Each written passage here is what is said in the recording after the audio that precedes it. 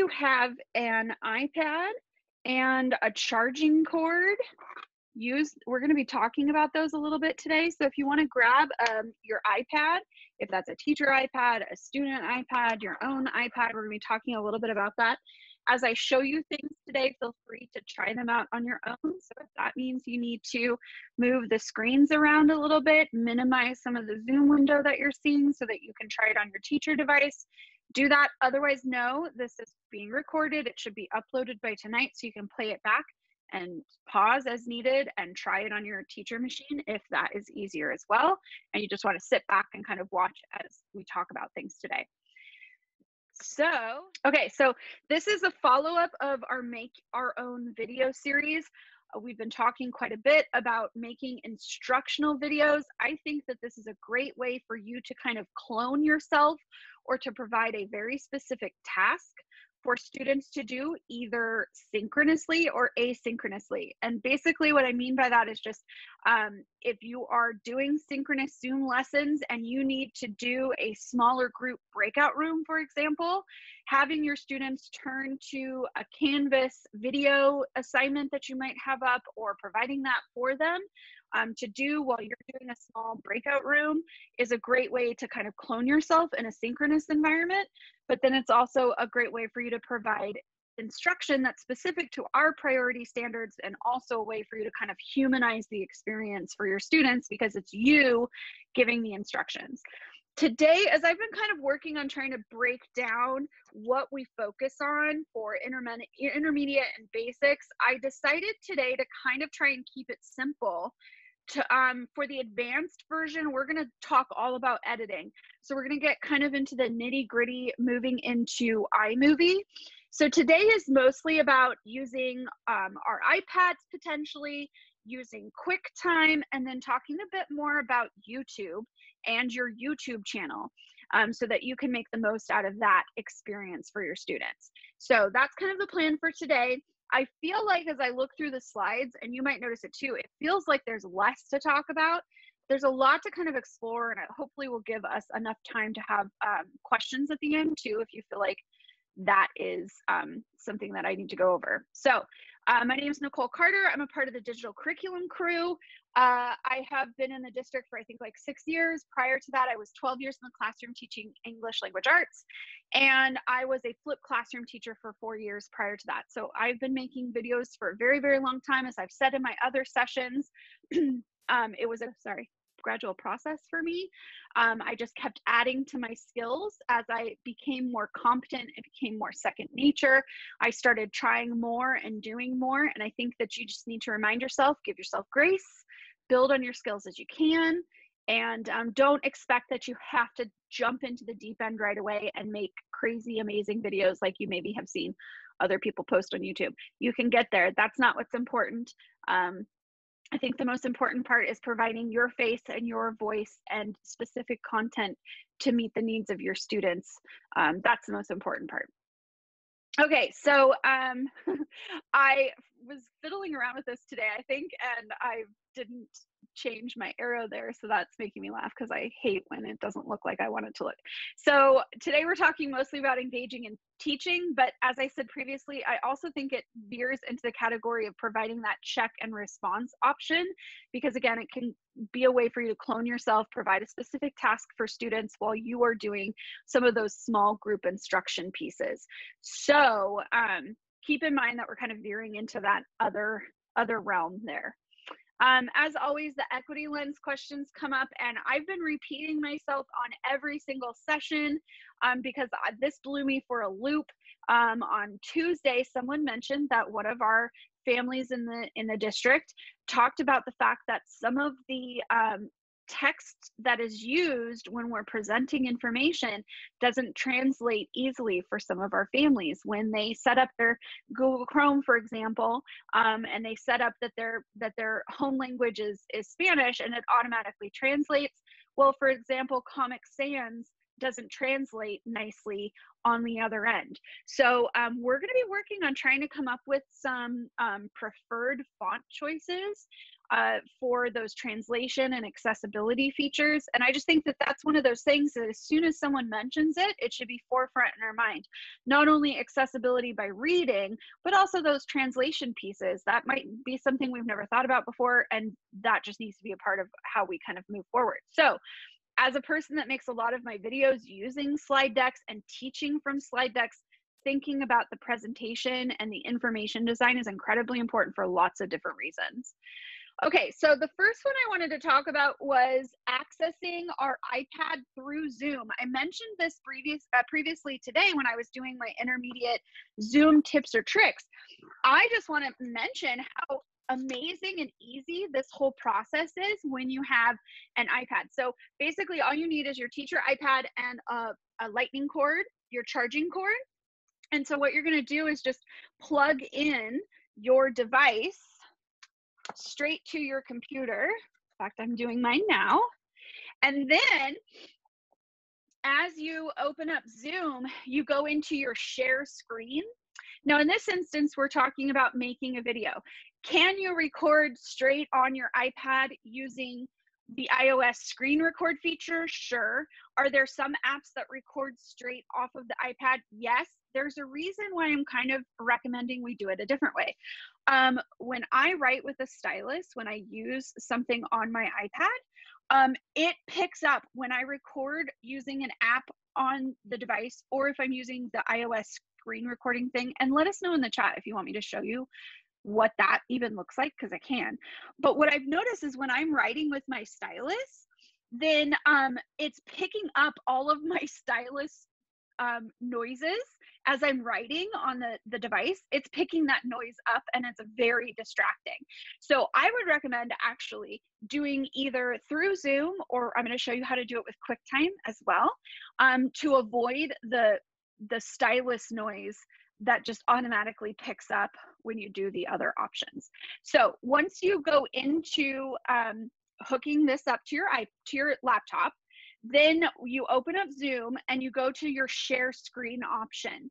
When you go to your share screen, you'll notice that there are two options here. There's one where you can show your iPad or iPhone through AirPlay, and then there's one that shows you through a cable. Now, if you do not have an iPad, but you have a phone, you could do the exact same thing. Um, and this is when I've shown in the past how people have created created like document cameras using their phone. This would be one way you could do that. Um, but anyways, I'm recommending using the cable because as you may have figured out, there are a lot of different things that will lag and slow um, slow our recording and slow even when we're showcasing to students. And um, by doing an airplay or bluetooth connect that will pull from your wi-fi data or pull from your internet data and will slow you down and slow down what they see on their end um, or slow down your recording, your instructional recording. So I would recommend using the cable when you can. Sometimes it's cumbersome and it can get in your way, but when you can use the cable, that's just going to give you a smoother process and recording if that makes sense. So once you go in, it couldn't be simpler, you guys. You go in, you click that and um, click share. So now you are seeing my iPad screen right? So if I were doing um, an instructional video where, for example, I was maybe um, wanting the kids to read through an article with me and record. So I'm using the app Notability, which is the one I would highly recommend if you're thinking about doing any kind of annotation work or whatever. This is what I would recommend is Notability, um, which we can talk about in a little bit. But um, I would go through this, do my highlighting, do my annotation, maybe my little sketch notes or whatever. I'm recording, remembering if I'm doing this as an instructional video through Zoom, I share, I hit record, and I go through. Again, we're um, minimizing the amount that you're hearing those distracting, you know, touching the iPad with your stylus um, sound. It's super distracting. Um, and and this is like this is it this is this would be how you would go through so for if you were thinking to yourself gosh i wish i had my document camera or whatever um, that would make things really helpful so what i would recommend instead you don't need a document camera you can just use something like this. I wouldn't even, um, the document camera is basically a live video stream, right? So a camera pointing down as you're writing. Instead, I would use like a whiteboard app or something like this, Notability. Um, if you have, you know, a, a, printout that you wanted to write over the top of, I'm trying to think of how we normally use our document cameras, right? So we're either using just a plain white piece of paper where we're writing, we're using a printout and we're writing over the top of it.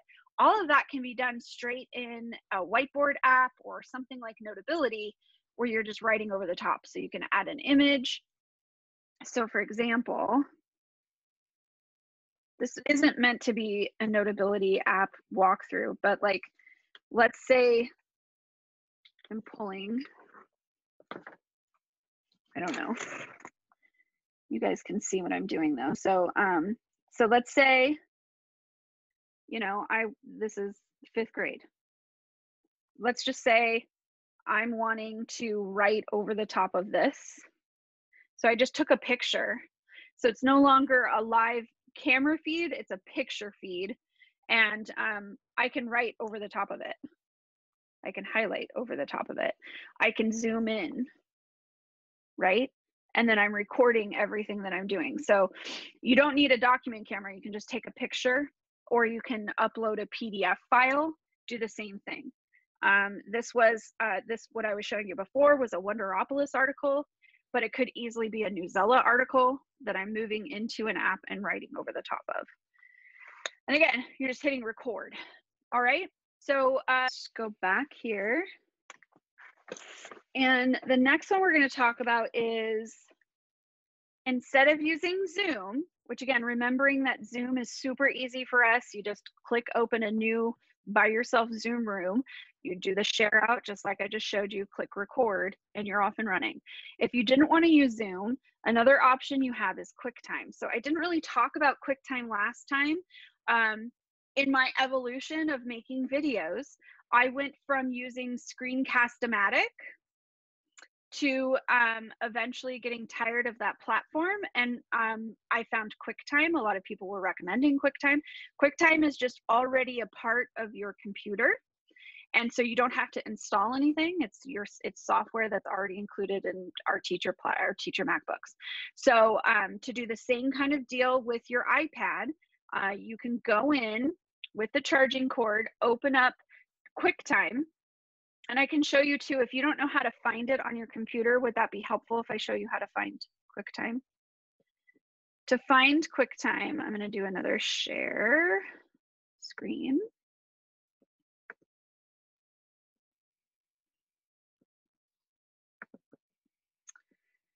Okay, so when I'm in my laptop, there's a couple of things I can do. I can either go into the top right hand corner, the spotlight search, and search QuickTime, and it should find it for me right away. Or you can also go into your apps. So you can hit, if you still have this launch pad that looks like a rocket down here, you can hit that. Or um, on your keyboard, it's the one that has like six boxes lined up, two rows of three. If you click that on your keyboard, it will open it up too. Um, and there's a search feature up here at the top where you can just click that, or it's in this other folder there it is. Okay. Now I use it so much that I actually have it in my dock down below. I don't know if you guys know how to add things to your dock, but if you open up this um, platform or any other application, if you right click on it and you go here to options, then you can say keep in dock or remove from dock. So like um, if you've got stuff on here that you never use, like I don't ever use Firefox, I don't ever use Safari, I don't ever use any of the Microsoft products, I remove those from my dock. And these are all of the things that I use on a regular basis, right? So I just right click on them and I say keep in dock, that if that is helpful for you at all. So QuickTime, I open up QuickTime and I can do the exact same process. So I'm gonna switch back over to the screen here. Okay, so what you're going to do is you're going to open up QuickTime. You've got your, your iPad plugged into your laptop, and then you're going to go to File, and you're going to go to New Movie Recording. When you do that, um, if you've never plugged your iPad into your teacher laptop, it also might pop up on your iPad. Um, do you trust this computer?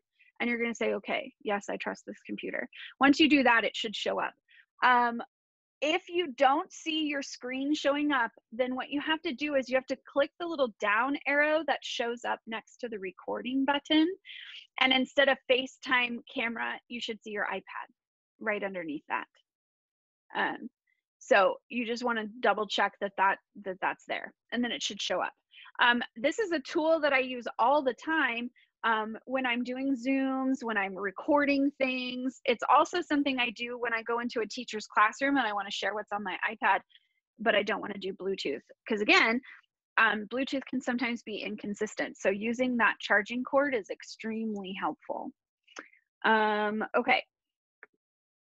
So um, I briefly mentioned some iPad annotation and whiteboard apps. So I went into um, self-service on um, a teacher iPad to try and see what you guys had access to.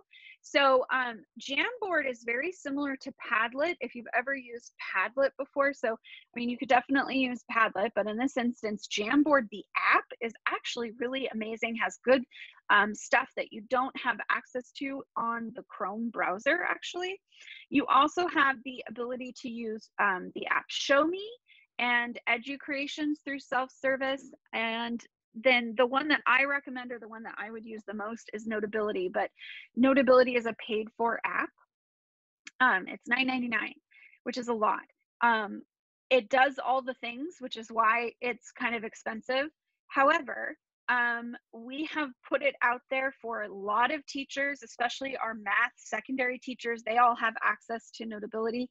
It is very easy for you to back up any of your notes to Google Drive with Notability. And then you can provide a folder, like on Canvas, for example, for your students to access any of the notes that you took on Notability.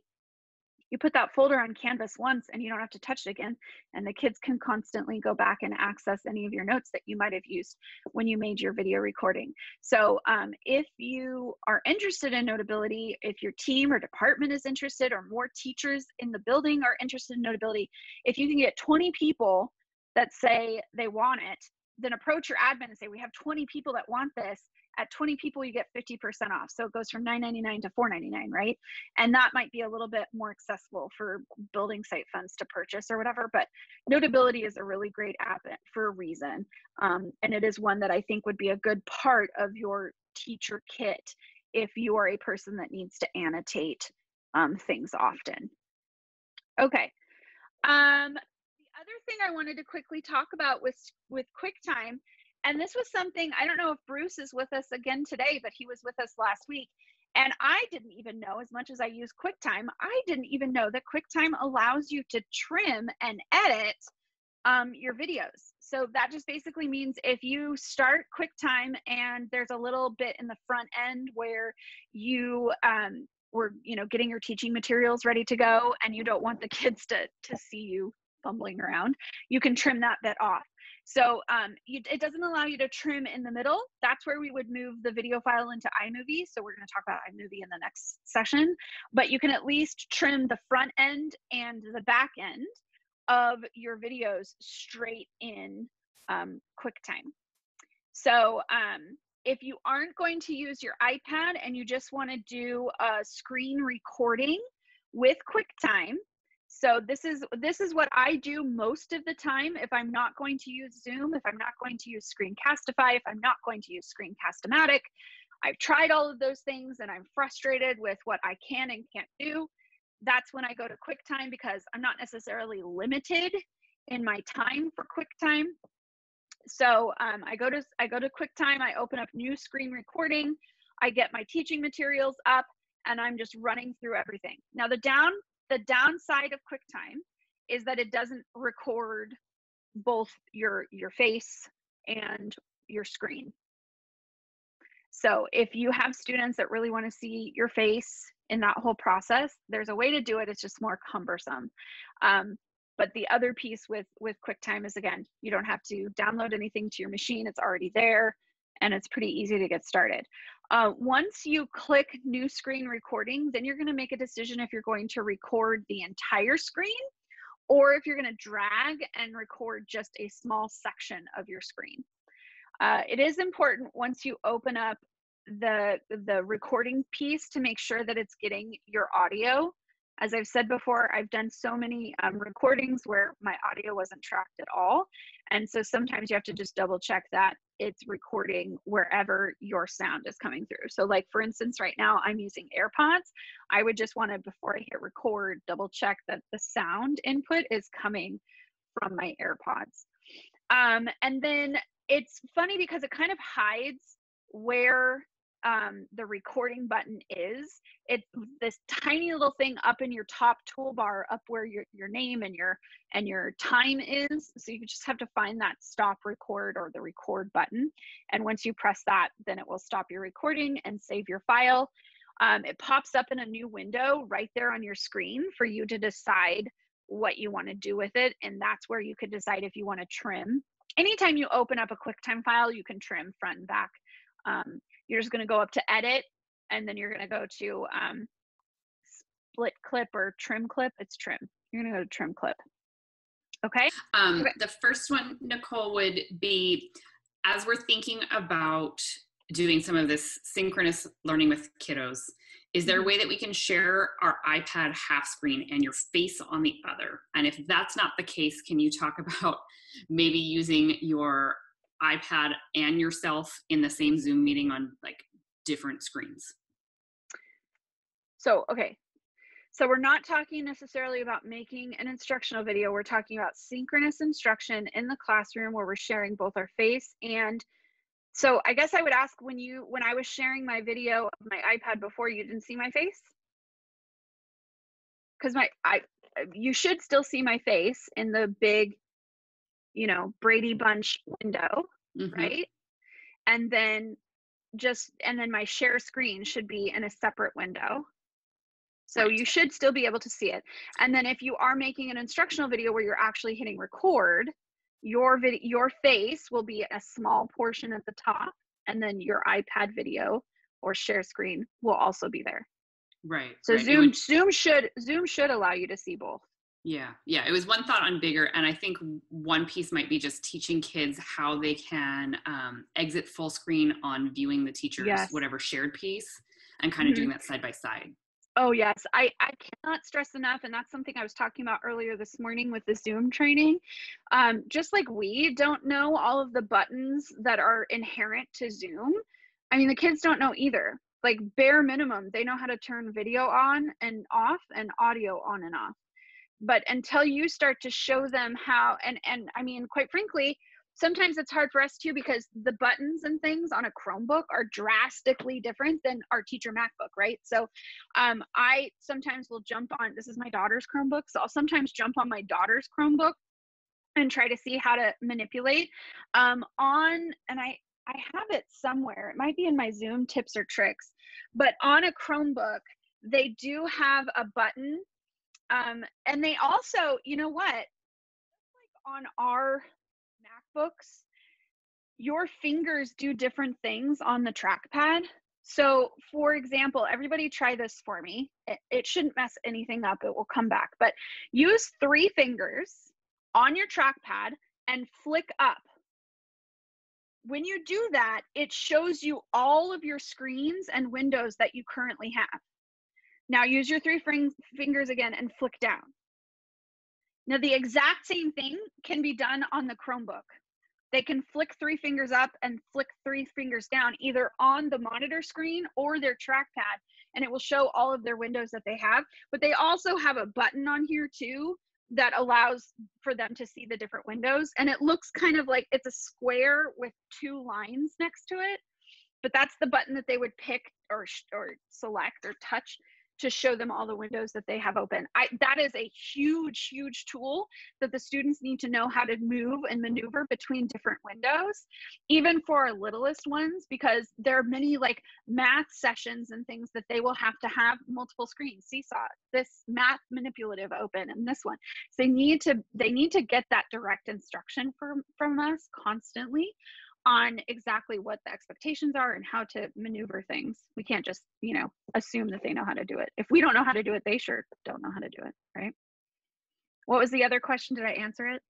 Sorry, I feel like I went off on a tangent. No, that was helpful. We get off. Um, The best tip or trick I can tell you with this is to get Zoom open and hit that orange button for new meeting and just start playing around a little bit, as well as getting a group of your teammates or department, you know, your department together and get in a Zoom where each of you are co- are hosts or co-hosts or whatever so you can play around with some of the controls and get um, more familiar especially um, we i wanted to try and find out what the exact dates are but we have officially bought the pro version of zoom for you guys.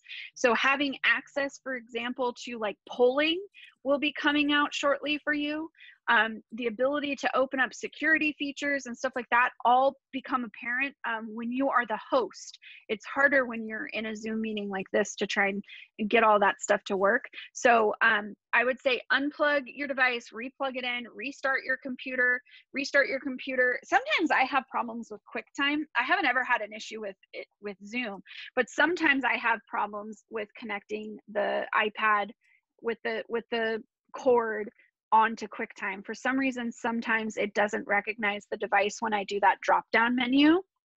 So again, for the iPad on QuickTime, you have to go to the new movie recording. So everything else I've told you should be screen recording, but for the iPad, it's new movie recording. So it won't work if do it in the other options. Um, but if you're in the new movie recording, and then you have to go into the drop down menu and switch it from your FaceTime camera to your iPad. And if it doesn't see your iPad at that point, then that's where I would unplug, replug, restart your computer, and it should show up at that point. Sometimes, too, you need to make sure when it says, Do you trust this computer? You want to say yes, because that can also limit the capabilities as well. Ever I'm, let's see, I'm going in. So, again, new movie recording. Mm-hmm. It, that little screen opens up. So, okay, I'm gonna do, so you can see what I see. So I'm in QuickTime. Can you guys see that? I'm in QuickTime. This window is my QuickTime recording. So right now it's picking up my FaceTime HD camera, right? So uh, there's my, there's my iPad. So if this isn't showing up, then the only thing I've ever done unplug, replug, restart my computer, and try again. okay, awesome. Thanks. Yeah.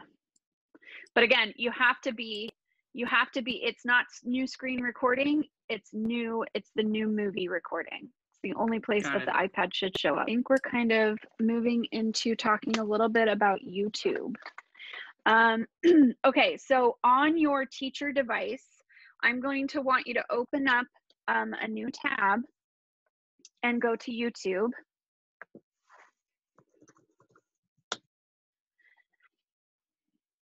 Okay, so once I'm in YouTube, you're going to go into the top right hand corner and look for your initials, and then you're going to go to your channel. Once you hit your channel, if you haven't started your channel yet, then it will, you, you need to go through the process of starting your channel. Um, once you're in your channel, it should show you any and all of your videos, your playlists. Okay. Um, when you are wanting to do any kind of uploads or you're wanting to do any kind of edits, you want to go to YouTube Studio. This is also a way for you to quickly upload a video. Okay. So you can either click this little camera guy or you can go to YouTube Studio. You also should be able to, in the top right hand corner, go to YouTube Studio right away. You don't necessarily need to go to your channel first. You can go to YouTube Studio right away. Now, once you're in your YouTube um, Studio, it goes straight into this dashboard, but there's a couple of things that I wanted to show you in here. How's my time? I'm doing okay on time. Okay. So, um, the first thing is when you go into videos, you can up update things here in your video feed at any time. So if you made a video that you no longer want your students to see, then you can update that at any time. Now, all of mine are public, and that's because we want you guys to be able to access them. But if you are in 13 or below, then we definitely would recommend that you make your videos unlisted, especially if students are in the pictures. If you're just doing instructional videos, though, that it's just like your face and your content, it can totally be public. It doesn't need to be unlisted. Um, the unlisted is really only if you've got students in the in the video themselves. Um, so you can change the visibility at any time. You can change any of the details and content title and the details can be changed at any time. Um, for some reason, I'm trying to figure out why they're doing this, but um, if you know anything about tags or hashtags, like the reason that hashtags are on there is so that it helps with the algorithm, it helps for searching. So um, in order to change a tag on a video, you have to select the video and then you have to go to edit and go to tags. Now, the only reason I say tags might be helpful is because I think at some point we might want to create some sort of community some sort of beaverton school district community where we're sharing these things. And i think if we create some sort of hashtag like bsd flipped videos or bsd instructional videos i don't know i haven't come up with the hashtag yet but adding in a tag right here would allow us to be able to search each other's content on youtube to be able to see what other people are creating. Um, but you can also do bulk edits as well. So if you have a whole bunch of videos that students have already seen and you don't want them to see it anymore, you can select all of your videos and turn them to private, for example, and shut down access at any one time. So you can do bulk edits from this particular spot. Um, you also can create playlists for your students. So for example, if you have videos that belong in one specific um, unit, you could create all of those instructional videos and then move them into a playlist and then share the playlist with students.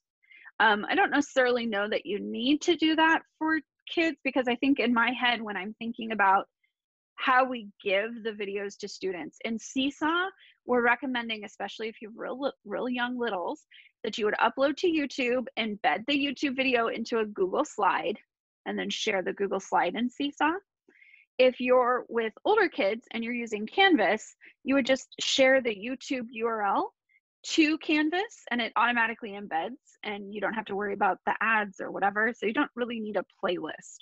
Um, but if that helps you with organization, playlists are easy to create, um, especially when you're uploading something. So I'm going to go back into the upload category. So let's say I want to upload, I know I had a video, hold on.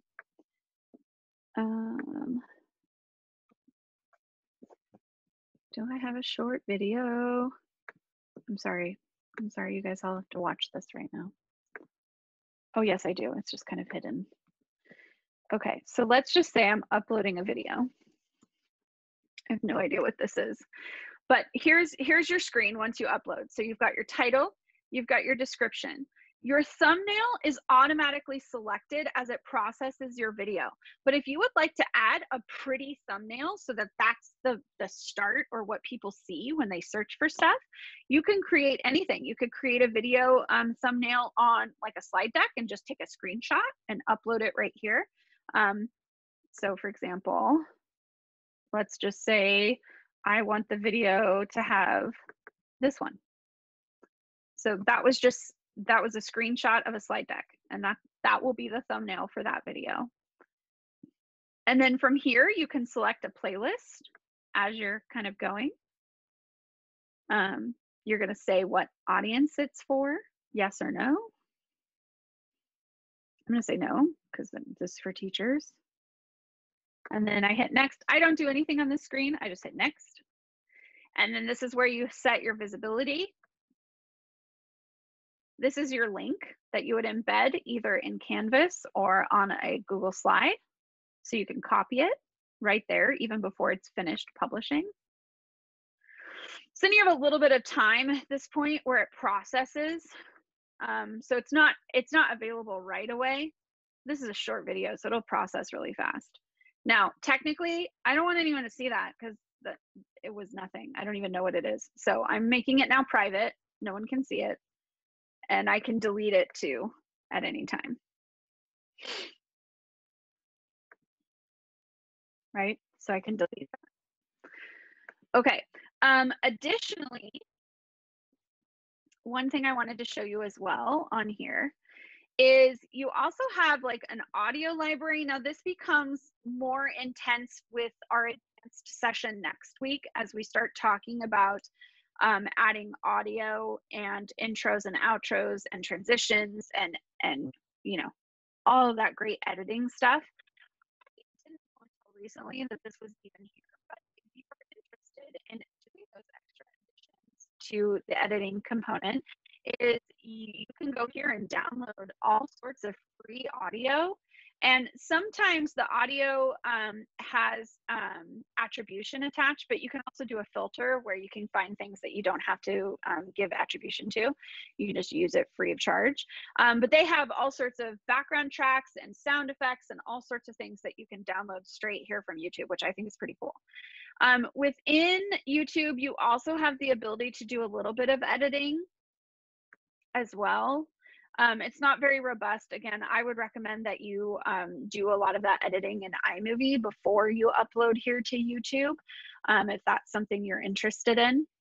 And then finally, I wanted to go over just a few pieces of vocabulary with YouTube. So you have a channel, so that's where all of the content lives for you and your brand or person, right? A YouTuber is a person that's making money off of creating videos on YouTube and monetizing the, those videos. So that's you know ads being played in the middle of their of their video. Um, a subscriber is like you subscribing to a channel or a YouTuber because you like that content and you want to be notified when any of their content comes up and is available. Um, by providing a like or hitting that like button, it just changes the algorithm within YouTube so that videos are more available. Um, and then finally the notification. So like if you really love the channel Crash Course because of its educational content, you can subscribe to it and you can turn on the notifications. So whenever they come out with a new video, uh, you are notified or it hops up into your home screen so that you can see those videos you can create playlists within YouTube of things that you want to watch, um, whether that's watch later or the playlist, like I said before, like um, a unit playlist, for example. Watch later is something I use when I consume content. Like I no longer watch TV for the most part, and my team likes to make fun of me for this, but I don't watch TV anymore. I just watch YouTube which I know that's kind of scary to think of, but that's all I watch. And I predominantly watch through my watch later playlist. So as I find videos I want to watch, I just say save to playlist. They play, they save to my watch later, and I cycle through that um, when I'm sitting down in the evening to watch TV. Um, and then uh, the playlists again, that's something that's curated by you for specific reasons. So like you can see on here, anytime anytime I'm in a teacher's college presentation and they use a specific video to highlight something, some sort of teaching tool, I automatically find those videos and save it to a playlist.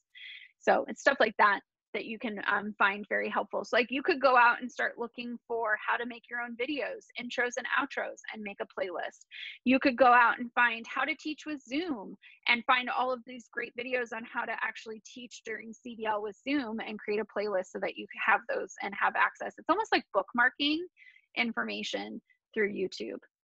Um, okay, so lots that you can play around with and do with YouTube, but just know you have a teacher YouTube channel and all of your content can go on there and be shared from there to students. You can't upload like a 15 minute video to Canvas. Canvas just won't allow you to do that.